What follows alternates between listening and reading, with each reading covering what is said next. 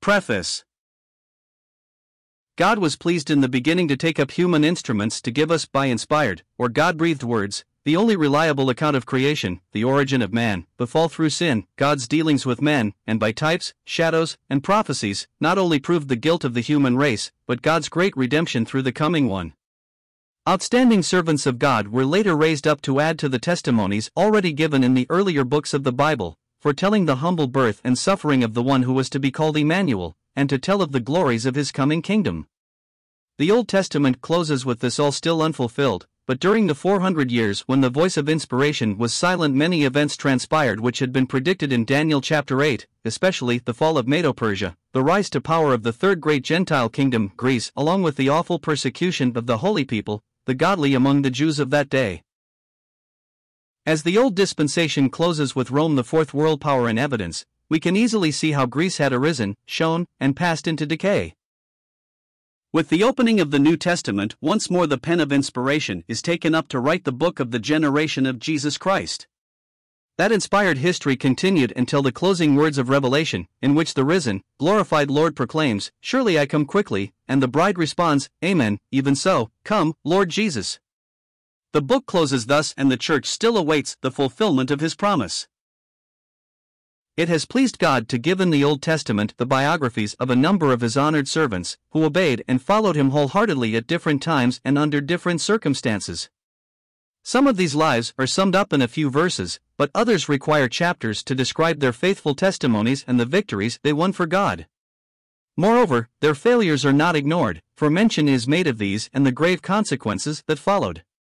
In Hebrews chapter 11, where name after name is given of Old Testament worthies and what they accomplished through faith, we note that some did much, others did less, but all the recorded deeds were said to have been done by faith.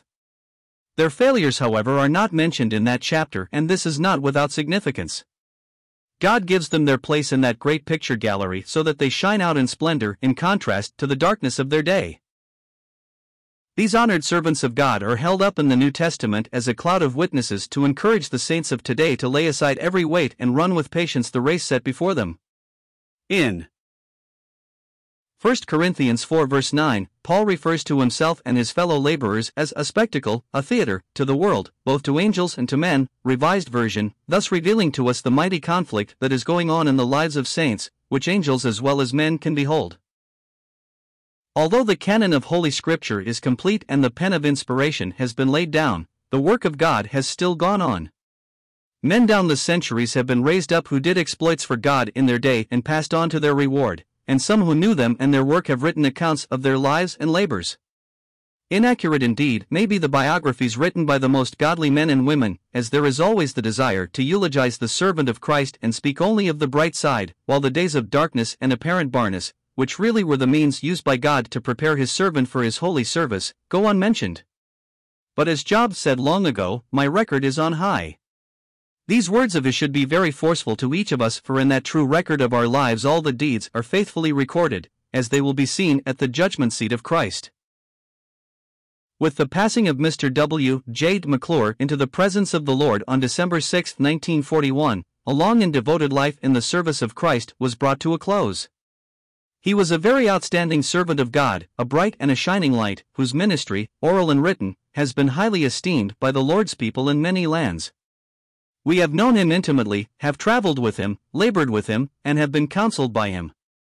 Yet, in undertaking this work of giving a condensed account of his life and labors, we feel much cast upon the Lord for guidance, so that the light which shone from God's workmanship, as seen in this servant, might not be dimmed by words directed only to the man, and that his Lord whom he sought to exalt might alone get the glory.